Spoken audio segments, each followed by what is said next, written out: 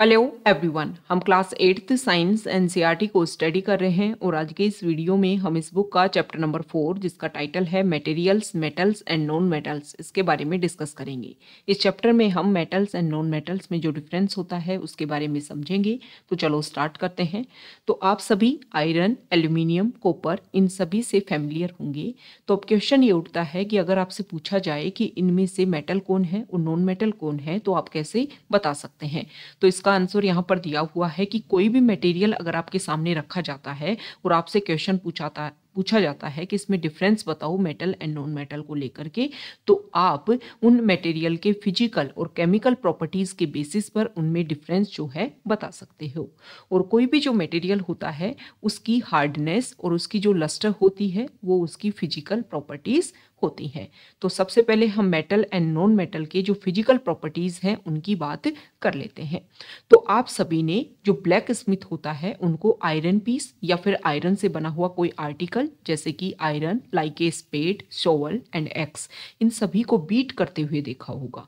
और जब इनको बीट किया जाता है ब्लैक स्मिथ के द्वारा तो हम देखते हैं कि वो एक एक तरीके से बहुत ही थिन लेयर में जो है, वो स्प्रेड हो जाते हैं। ओके तो यहाँ पर बताया हुआ है कि अगर कोई मटेरियल जो है तो उसको अगर इस तरीके से बीट किया जाता है, वो वो एक थिन सीट में स्प्रेड हो जाता है तो ये एक इम्पोर्टेंट करेक्टरिस्टिक होती है मेटल्स की और इसको बोला जाता है मैली एबिलिटी ओके लेकिन यहाँ पर बताया गया है कि जैसे कि कोल या फिर पेंसिल लेड जो होता है, उसको अगर आप इसी तरीके से बीट करो तो क्या वो अपने आप को स्प्रेड कर पाते हैं? तो आपको ये बात समझ में आना है कि जो मेटल होते हैं, उनमें मेलिया एबिलिटी एक इम्पोर्टेंट क्वालिटीज़ पाई जाती है और जो नॉन मेटल होते हैं, उनमें ये एबिलिटी नहीं पाई जाती है। दूसरा यहाँ पर डिफरेंस बताया गया है मेटल एंड नॉन मेटल में कि जो मेटल होते हैं, वो इलेक्ट्रिसिटी के एंड हीट के गुड कंडक्टर होते हैं। मेटल जो होते हैं, वो गुड कंडक्टर होते हैं। लेकिन जो नॉन मेटल होते हैं, वो कंडक्टर नहीं होते हैं इलेक्ट्रिसिटी एंड हीट के। इसीलिए जब भी कोई इलेक्ट्रिशियन काम करता है तो उसके जो स्क्रू ड्राइवर जिनको वो यूज़ करता है, उसका जो आपने हैंडल है, वो देखा होगा कि वो प्लास्टिक से कवर होता है, क्योंकि प्लास्टिक जो है, वो क्या है? नॉन मेटल है ओके और उनमें कंडक्शन नहीं पाया जाता है हीट एंड इलेक्ट्रिसिटी का वुड एंड प्लास्टिक में। तो दूसरा डिफरेंस हमने देख लिया कंडक्टिविटी को लेकर के। थर्ड डिफरेंस अगर हम देखें तो जो मेटल होता है, उसको आप वायर्स में ड्रॉ कर सकते हो। मतलब जो कोई भी मेटल है, उसको आप खींच करके वायर में चेंज कर सकते हो। और ये उसका जो करेक्टरिस्टिक होता है, इसको बोला जाता है डक्टिलिटी ओके okay? जो नॉन मेटल होते हैं, उनमें ये करेक्टरिस्टिक नहीं पाया जाता है। जो मेटल्स होते हैं, अगर वो किसी से टकराते हैं तो जब टकराते हैं, किसी हार्ड सरफेस से जब वो टकराते हैं तो वो रिंगिंग साउट रिंगिंग साउंड जो है वो प्रोड्यूस करते हैं। मतलब metals produce ringing sounds they are said to be sonorous उनको सोनोरस बोला जाता है, लेकिन वो प्रोडक्ट वो मटेरियल जो सोनोरस साउंड जनरेट नहीं करते हैं या फिर रिंगिंग साउंड जनरेट नहीं करते हैं, वो होते हैं नॉन मेटल तो यहाँ पर ये सारी क्वालिटीज़ देखने के बाद में हम बता सकते हैं कि जो मेटल होते हैं, उनमें कौन कौन से इंपॉर्टेंट कैरेक्टरिस्टिक होते हैं, उनकी फ़िज़िकल क्वालिटीज़ कौन कौन सी होती हैं।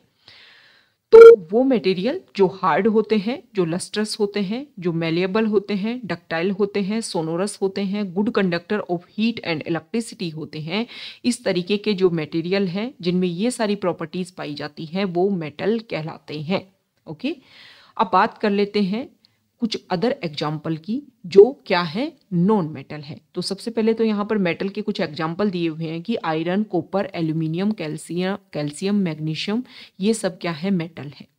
दूसरी तरफ़ अगर हम देखें तो कुछ मटेरियल जैसे कि कोल सल्फ़र जो होते हैं, वो सॉफ्ट होते हैं, वो डल होते हैं अपीरियंस में। साथ ही साथ में जब उनको हैमर से आप बीट करते हो तो वो पाउडरी फॉर्म में चेंज हो जाते हैं। मतलब वो एक थिन थिन सीट में अपने आप को चेंज नहीं कर पाते हैं, साथ ही साथ में सोनोरस भी नहीं होते हैं और हीट और इलेक्ट्रिसिटी के पुअर कंडक्टर होते हैं।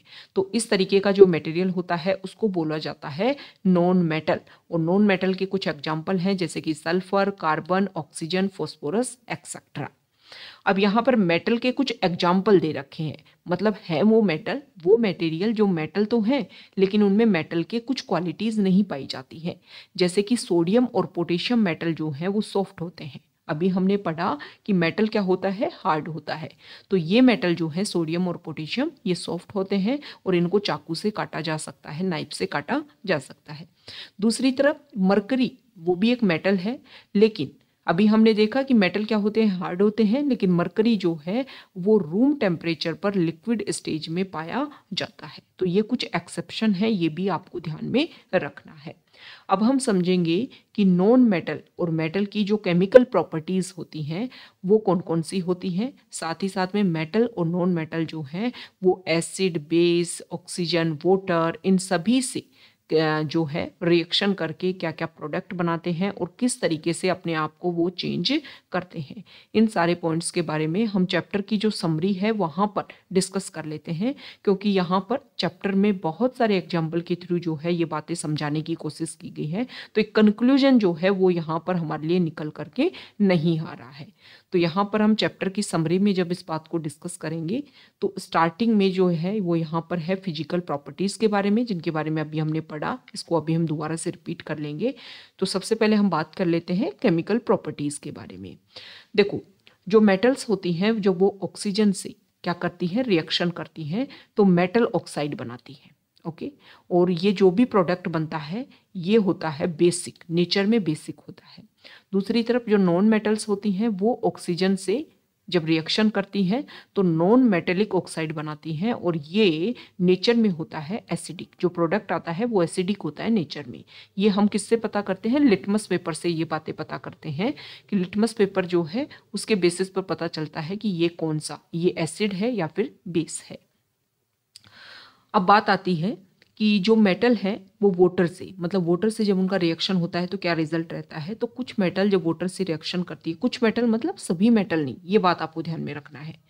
कुछ मेटल जो है वोटर से जब रिएक्शन करती हैं तो प्रोडक्शन में मतलब प्रोडक्ट जो है, वो मेटल हाइड्रोक्साइड और हाइड्रोजन गैस निकलती है।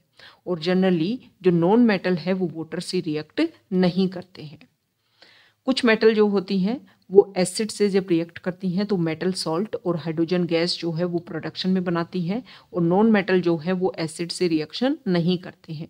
कुछ मेटल जो है, वो बेस के साथ में रिएक्शन करके हाइड्रोजन गैस बनाती है और कुछ यहाँ पर बताया गया है कि जो ज़्यादा रिएक्टिव मेटल है, वो क्या करती हैं डिस्प्लेस कर देती हैं लेस रिएक्टिव मेटल को from their compounds in aqueous solution मतलब जलीय सॉल्यूशन में वाटर सॉल्यूशन में जो ज़्यादा रिएक्टिव मेटल हैं, वो लेस रिएक्टिव मेटल का जो कंपाउंड है, उनमें से उनको रिप्लेस कर देती हैं और ये प्रोसीजर पाया जाता है। तो ये हमने देख लिया कि मेटल एंड नैन मेटल में जो केमिकल प्रॉपर्टीज़ जो होती हैं, उनके बेसिस पर कैसे उनमें डिफरेंस हम पता कर सकते हैं। और फ़िज़िकल प्रॉपर्टीज़ के बेसिस पर तो हमने देखा ही था कि मेटल जो है, वो लस्ट्रस होती हैं नॉन मेटल जो है, वो उनमें लस्टर नहीं पाई जाती मतलब चमक नहीं पाई जाती है। और मेटल जो है, वो मेरिएबल है मतलब आघात वर्धनीय है, उन पर चोट पड़ती है तो वो एक थिन सिफ्ट थिन सीट में अपने आप को चेंज कर लेती हैं और डक्टाइल होते हैं। और नॉन मेटल जो हैं उनमें ये प्रॉपर्टीज़ नहीं पाई जाती है। मेटल जो हैं वो हीट और इलेक्ट्रिसिटी के गुड कंडक्टर होते हैं बल्कि नॉन मेटल जो है वो पुअर कंडक्टर होते हैं हीट एंड इलेक्ट्रिसिटी के। इसीलिए प्लास्टिक का यूज़ किया जाता है हैंडल को आ, मतलब किसी भी प्रोडक्ट के हैंडल को बनाने के लिए ताकि ईजिली जो है वो लाइट के टाइम में भी और हीट के टाइम में भी यूज़ किया जा सके।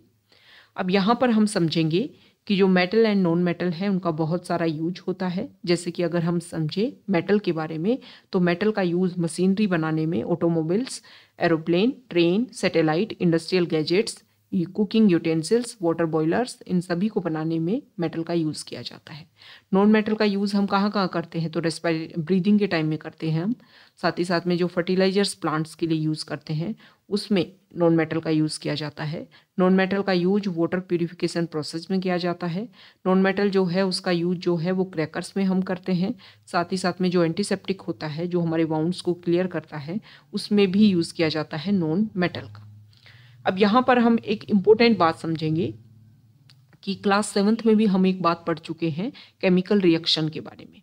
केमिकल रिएक्शन में क्या होता है कि दो मटेरियल यहाँ पर यूज़ किए गए। उन मटेरियल में कोई रिएक्शन करवाई गई और इस रिएक्शन के बेसिस पर एक प्रोडक्ट जो है वो निकल करके आता है। तो सबसे इम्पोर्टेंट बात आपको ये ध्यान में रखनी है कि जो प्रोडक्ट बन करके आता है, वो इन दोनों मटेरियल से काफ़ी ज़्यादा डिफरेंट होता है। एक बात तो आपको ध्यान में ये रखनी है। दूसरा, अगर हम डिस्कस करें तो यहाँ पर जो प्रोडक्ट बन करके आया केमिकल रिएक्शन में, ये जो प्रोडक्ट है, इसका चाहे आप एसिड से रिएक्शन करवाओ बेसिस बेस से रिएक्शन करवाओ, इसको गर्म करो, इसको ठंडा करो, इसको इलेक्ट्रोलाइसिस करो।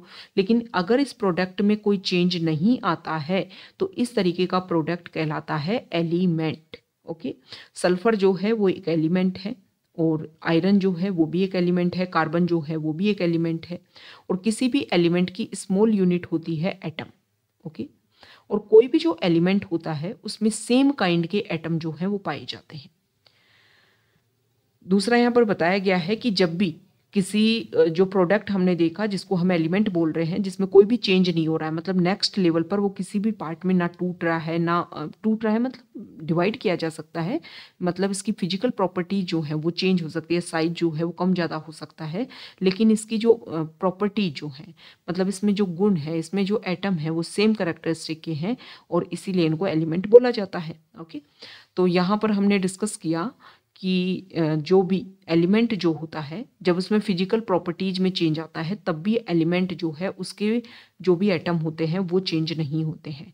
जैसे कि एक लिक्विड सल्फ़र है, अगर सेम वो सॉलिड में हो या सेम उसको हम वेपर सल्फ़र में कन्वर्ट करें तो उसके एटम जो है, वो हमेशा एग्जैक्टली सेम रहेंगे। ये आपको ध्यान में रखना है। मतलब एलिमेंट के जो एटम है, वो हमेशा सेम रहते हैं।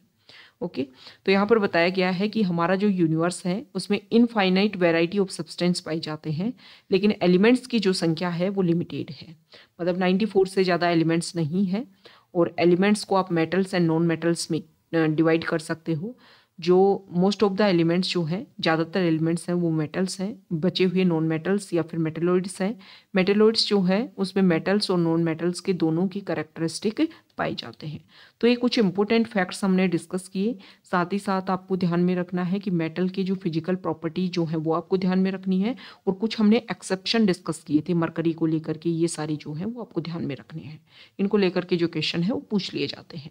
तो ये हमने चैप्टर को कंप्लीट कर लिया है। अगर आप यहाँ तक आए हैं वीडियो आपको अच्छा लगा है तो प्लीज़ वीडियो को लाइक कर दीजिए शेयर कर दीजिए और चैनल को सब्सक्राइब कर दीजिए।